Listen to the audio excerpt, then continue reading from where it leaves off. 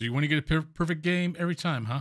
You got the ghost right, you got the objectives done, but your word of photo is going to ruin it. Well, here are my five ways to make sure you don't take a pic that ruins your perfect game. And come on, man, that's a ghost. Give it to me. Number one, not centered. Don't take pics that are not centered on the object you're taking a pic of. A pic that is off center can cause it to be a one or two star photo. For example, taking a picture of a bone, and it's but being far down the, the bone or far to the left or far to the right and not centered can cause this.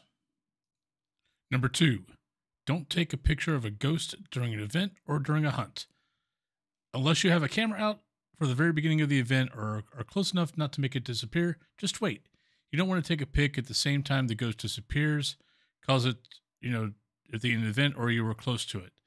And it either gives you a one or two star interaction or nothing at all. Or getting a ghost photo during hunt is hard. Wait till you have the book full. Granted, eventually they're supposed to have it where the ghost pic has to be one in the book, but till then, just wait. Take your pictures of, you know, salt, candles, bone, cursed item. Leave a picture of the ghost till after your book is full. Number three, don't take pictures with something in the way. Having something in the way or something in between you and what you're taking a pic of can cause the camera to take a pic of the wrong thing or just not count. Number four, don't take pictures of two items near each other.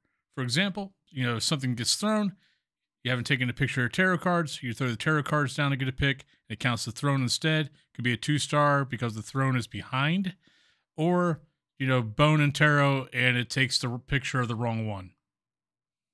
Number five, don't take dot photos. They're too glitchy currently. Plenty of us have beautiful photo of a dot ghost only to see no stars under it for no reason. If you need a ghost photo for an objective, just wait till you fill the book up with three stars, and go for it. So if you follow these five things not to do when taking photos, and you get all your objectives and you get the ghost right, you should get a perfect game every time.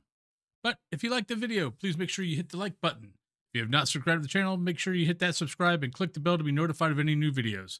If you want to see more videos like this, I also stream on Twitch and YouTube Monday through Friday, 8 a.m. to noon Eastern Standard Time. Links below. Also, any members of the channel get added to all videos at the end. Tier 1 is $1. But have a great day and peace. Love you. Also, here's my cat. Hi.